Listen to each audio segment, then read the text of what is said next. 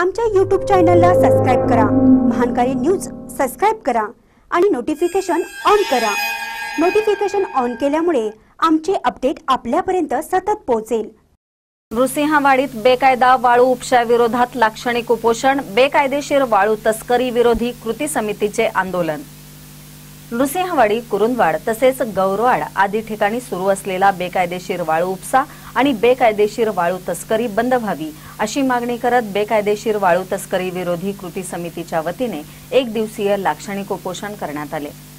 गेल्या अनेक दिवसांपासून नृसिंहवाडी दत्त मंदिरासमोरील पूर्वेकडील पात्र कुरुंदवाड येथील घाट तसेच गौरवाड येथील पानवटा आदी ठिकाणाहून राजरोस बेकायदेशीर वाळू उपसा होत आहे. शेकडो ब्रास बेकायदा वाळूची तस्करी रात्री अपरात्री नृसिंहवाडी गौरवाड औरवाड कवटेगुलन शेडशाळ गणेशवाडी आलास बुबनाळ आदी गावातून होत आहे. जिल्हाधिकाऱ्यांनी वाळू उपशास बंदी घातली असतानाही हा बेकायदा वाळू उपसा आणि तस्करी सुरू आहे. मात्र प्र- प्रशासन याकडे गांभीर्यानं पाहत नाही. त्यामुळे शासनाला जाग आणण्यासाठी बेकायदेशीर वाळू तस्करी विरोधी कृती समितीच्या वतीने एक दिवसीय लाक्षणिक उपोषण करण्यात आले.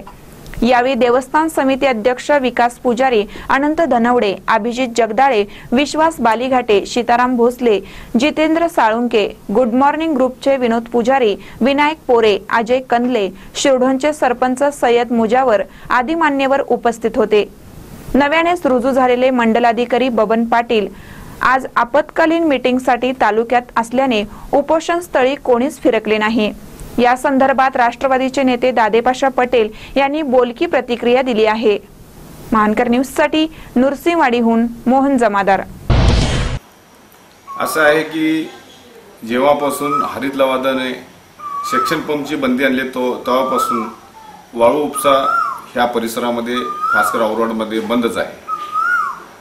जरी बंद असेल तर आम्ही कोर्टात दाद मागण्यासाठी प्रयत्न करतो. ते आम्हाला त्यात यश येईलच. आणि दुसरी गोष्ट हे आपले पत्रकार बंधू लक्षणे उपोषणाला बसलेले आहेत.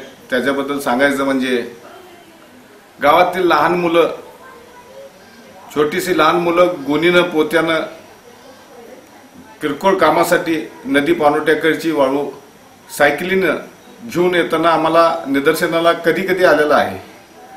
जरी ते बेकायदेशीर बेकायदेशीर असेल आणि त्याच्यामुळं नुकसान होत असेल तर आम्ही त्या मुलांना सांगून ते बेकायदेशीर गुन्हेनं आणू नका.